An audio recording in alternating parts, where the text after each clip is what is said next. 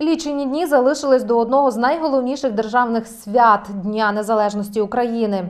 Зазвичай у цей час у містах і селах ведуться роботи з благоустрою, покликані надати населеним пунктам привабливого і святкового вигляду. У бурштині вирішили прикрасити територію, прилеглу до центральної площі міста. Старання працівників господарства озеленення і благоустроя місцевого комунального підприємства дали свої результати.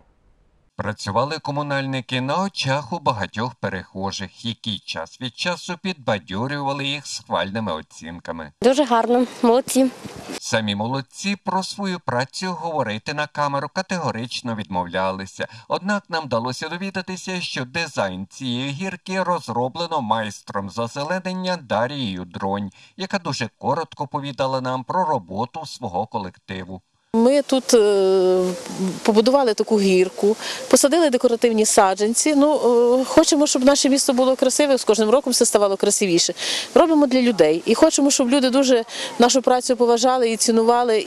Останнє зауваження особливо доречне, бо, на жаль, цінувати чужу працю у нас не навчилися. Уже того дня хтось таки проїхався машиною по свіжому газону, де саме готувалися сіяти траву і висаджувати декоративні рослини.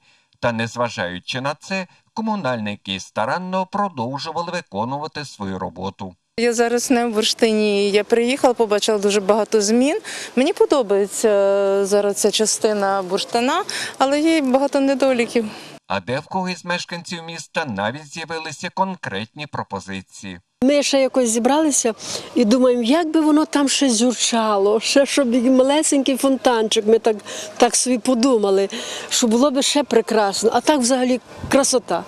Ну, у нас бурштин просто цвіте.